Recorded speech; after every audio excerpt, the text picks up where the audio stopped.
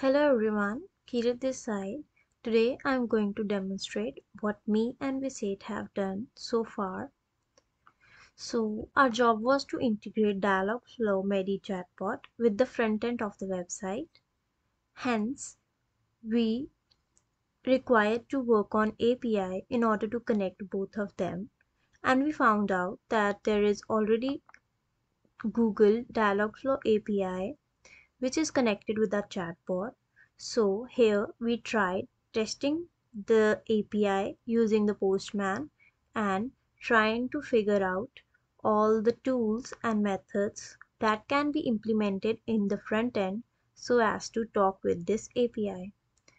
So first of all, we created a Google Cloud account and here in the team project Avengers, we enabled the Dialogflow API so that we can take all the credentials from here and use them as keys for the authorization purpose.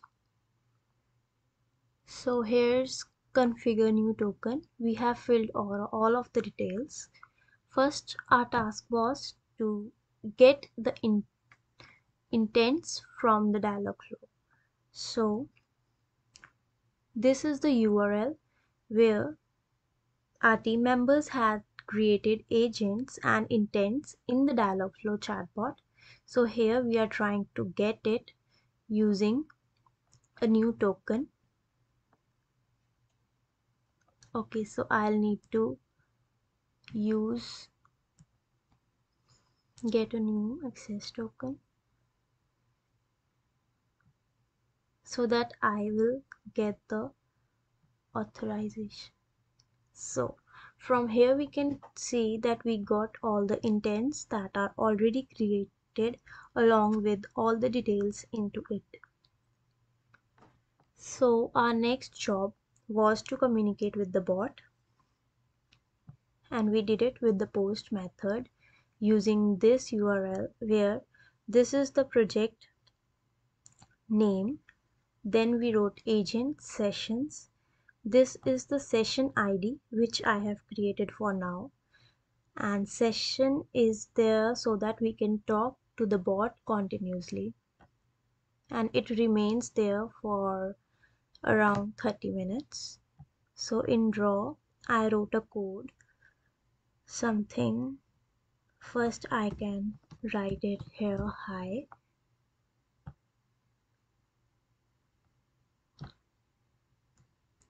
let's get access token.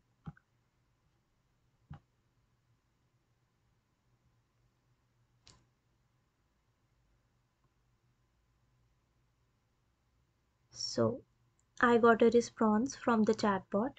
So he's asking what I do for today. So here if I'll write I am in pain and send.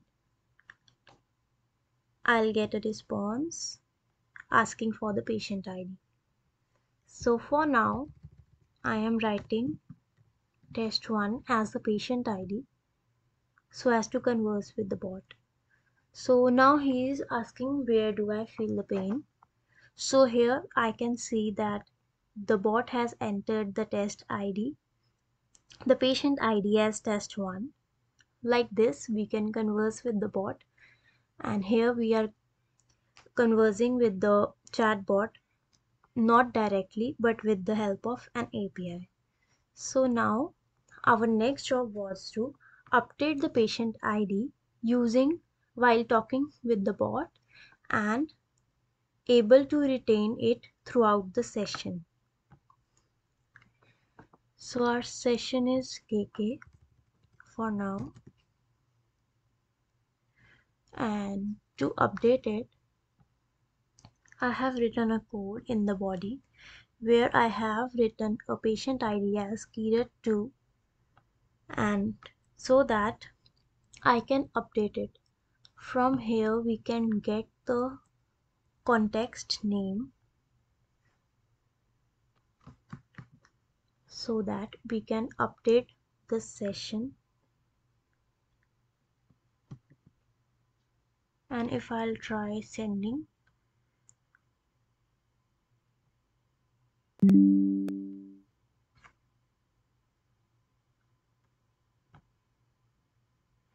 So now I from here I can see that my context has been updated and as with the session id period 2 so let's try let's try getting this context first. So if I'll try to access this context I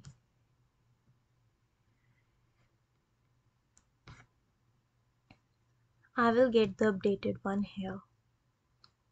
Now this context has been updated with the session KK to Kirat 2 now let's try to chat with the bot. So he was asking us about on your body where do you feel the pain? Because I have updated the patient ID now if I write face from here you can see he has entered all of the details face as well as the updated ID into the conversation now he's asking where did I notice the pain first? So we can continue conversing with the bot like this.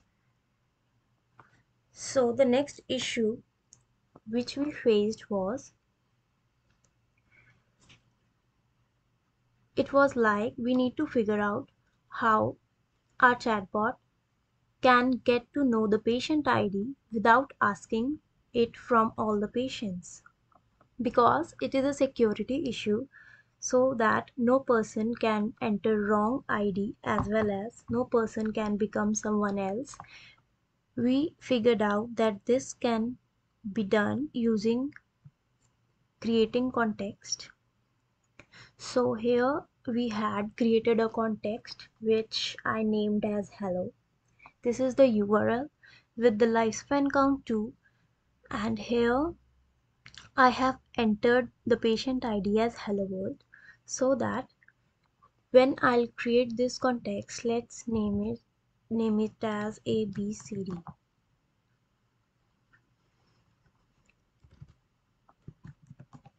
so if I'll create this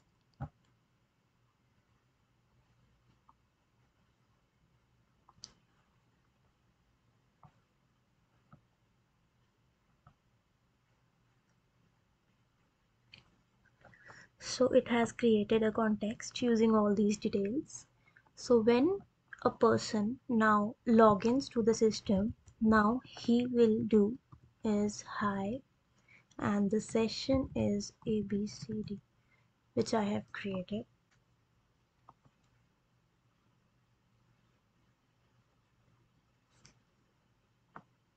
Here you can see that in this session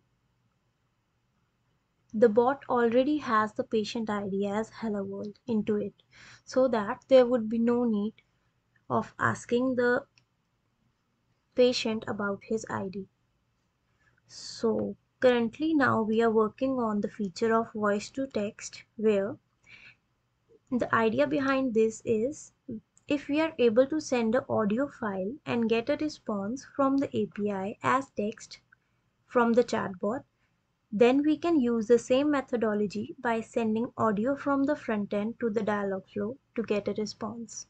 So in order to do that, we figured out that there is a form data where we entered the where we changed the text to file and uploaded a audio.wav. Here if I try to import the audio here it's showing it's the wrong format. So currently we are working on it so that we are able to send the audio from here.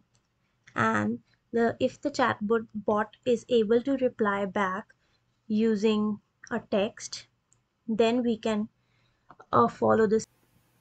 Now we are able to solve the issue of voice to text function. After doing a lot of research we came across this site of detect intent where we came to know about different fields it has. Earlier, we were using query input from for sending and receiving messages from chatbot and we also came across that there's an input audio field which can send up to 1 minute of audio speech as a request. So, in order to write the code for this, we came across a JavaScript code where it was sending the audio file and send it as a part of request. So because we are using a postman, so we took this code into our postman and we actually deleted this part here in our body raw json so here you can see we had took the code from here and in place of input audio we figured out that we cannot send video or audio directly from postman. So there is a base 64 encoding audio content from here. There are different command lines code for different operating systems. So because i was using windows so i used this code and copy pasted it in my command line filling the input file which i was n- named of my which was the name of my audio file and the output file which we get got from here.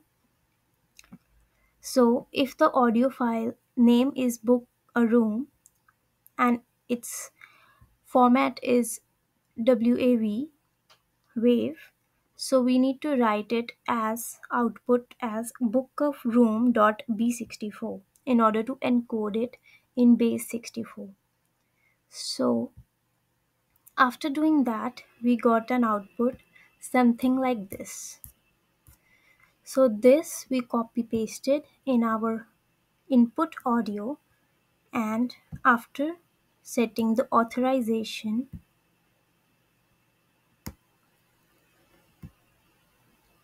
when we tried sending it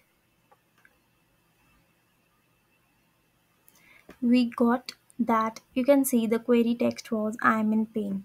So the video we put here was I am in pain and we encoded it in base 64 so as to get an output of pain assessment from the chatbot.